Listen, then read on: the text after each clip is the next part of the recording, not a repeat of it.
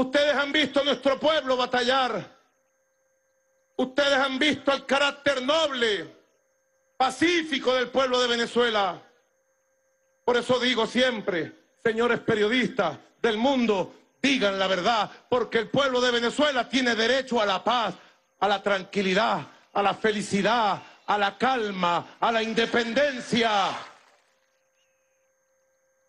Nuestro pueblo tiene derecho a vivir, a desarrollarse. Que tenemos problemas. Sí, lo sabemos y todos los días los atendemos. Que nos crean problemas con las sanciones. Sí, pero no nos vamos a rendir jamás por ninguna sanción que nos pongan. Somos guerreros y bolivarianos, irreductibles somos, irreductibles.